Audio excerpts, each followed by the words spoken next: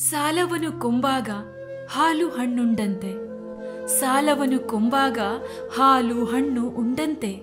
ಸಾಲಿಗನು ಬಂದು ಎಳೆದಾಗ ಕಿಬ್ಬದಿಯ ಕೀಲು ಮುರಿದಂತೆ ಸರ್ವಜ್ಞ.